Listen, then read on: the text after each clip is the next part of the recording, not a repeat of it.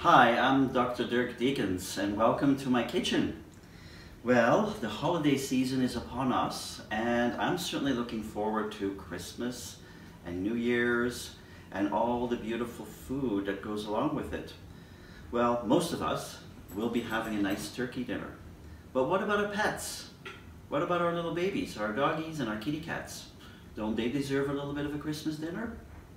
Well, the answer is yes. However, we have to take a few things into consideration. There are some things that are healthy and good for our pets, and there are some things that are maybe not so good. So I'm going to suggest if your animals have any allergies or sensitivities to certain types of food, to check with your own veterinarian first to see what's appropriate to feed them and what is not. However, if there's no issues, let's have a look at what we have on the typical Christmas dinner. Well, the star of the dish usually is a turkey. I've got a little bit of turkey here. Or some people might have the wonderful ham. Your choice. There's nothing wrong with feeding your animals some turkey or some ham, but I'm going to suggest that like this piece has a lot of skin on it, to take off the skin and just give the pure turkey meat. Same with the ham. Don't give them the bone of the ham. You know, it might be too hard to chew on. For the turkey, the bones, when they're being cooked, they splinter quite easily and they can cause obstructions in their, in their bowels. And you don't want to be going to an emergency veterinary clinic on Christmas Eve or Christmas Day. So, just the pure meat of the turkey or the ham.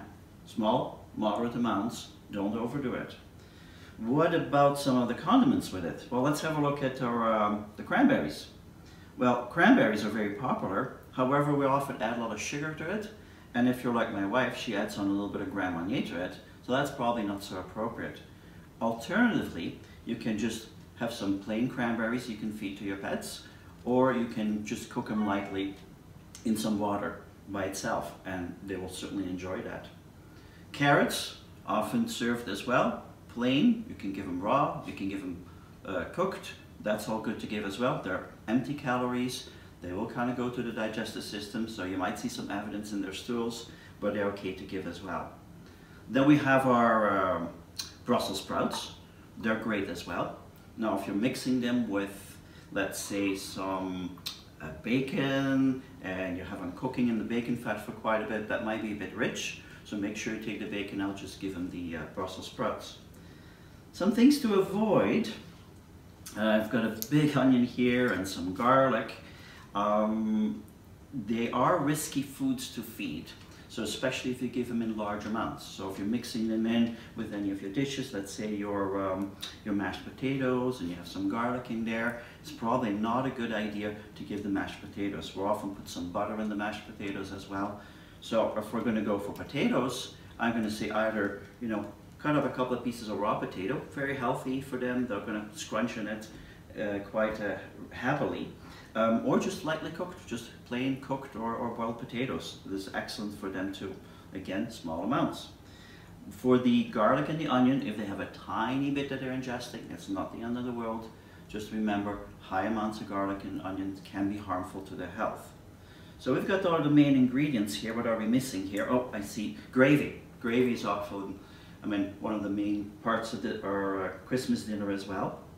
Gravy can be quite rich, quite fatty. Uh, often there will be some spices mixed in together with some uh, uh, savory seasonings. So I'd probably be very gentle and very careful with the gravy, just a small amount or just avoid it altogether. Uh, the same with the, um, the stuffing of the, um, of the turkey. Um, there's a lot of things mixed in there, like nuts and things like that. So um, some nuts are good for doggies, but we do know, for instance, that macadamia nuts are toxic to pets, so avoid those. So avoid the stuffing altogether as well. So no gravy, no stuffing. So let's keep it very plain and simple here for them. What am I missing here? Of course, dessert. Yeah, dessert is always one of the highlights, especially for me. I'm from Belgium, so I love chocolate. Remember, chocolate, not good for pets. It's toxic. They can't tolerate uh, chocolate. And again, you want to avoid a visit to the, the emergency clinic or any of the lovely cakes that we have or baked goods. Often they're rich in sugar. They might have fruits and nuts in there uh, or even some alcohol in there. Not so good for our pets. So hopefully that's given you a little bit of an idea on how to put together an easy, simple dish for our doggies and our kitties. Um, a little word about our kitty cats. Uh, cats are meat-eating kind of little mongrels, so make sure that you kind of focus mostly on the meaty part and not as much on the vegetables and the, the fruit part. Um, as for ourselves here, from our kitchen to your kitchen, I wish you a very Merry Christmas and a Happy New Year. And I think I'm going to try one of these chocolates right here.